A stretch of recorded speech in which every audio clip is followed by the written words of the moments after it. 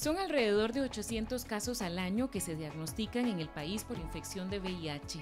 Para abordar a estas personas de forma temprana y mejorar su calidad de vida es vital la prueba del tamizaje. Nunca vamos a llegar a conocer cuántas personas realmente están infectadas si no hay un tamizaje con alta cobertura.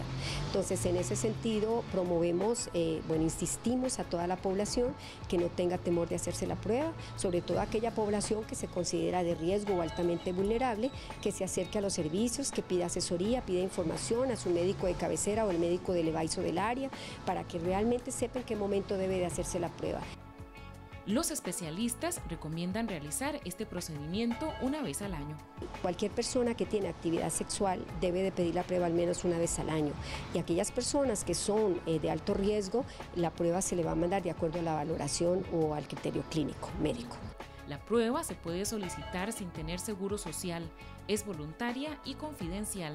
El procedimiento es sencillo, mira, en este momento también eh, desde el 2015, 2015-2016 salió una directriz ministerial em, en el cual eh, solicitó a la caja eh, de mm, que digamos que el seguro de salud no fuera una barrera estructural para que la persona tenga la oportunidad de hacerse la prueba. Entonces, en esto la institución hizo un lineamiento que acuerpaba toda la directriz ministerial en el caso de que no está mediando un seguro de salud para que la persona pueda optar por la prueba y sea realizada.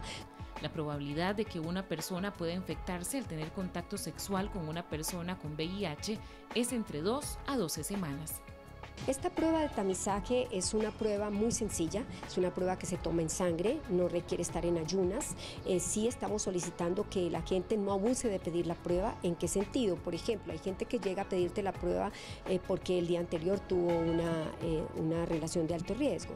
¿Por qué? Porque estas pruebas lógicamente lo que detectan son anticuerpos y entonces nuestros anticuerpos se van formando en el organismo dos, promedialmente dos a, a 12 semanas, este, muchas veces cuatro seis, pero todo va a depender del criterio, el perfil de riesgo que tenga la persona y toda su condición biológica. Entonces, eh, pedimos a la población que solicitemos la prueba.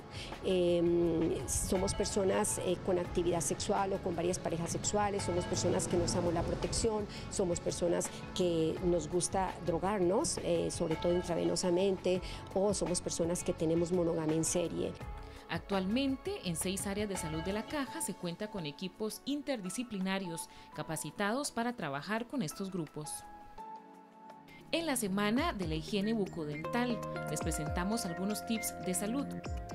Utilice el hilo dental antes de cepillarse los dientes. Después del cepillado, utilice enjuague bucal.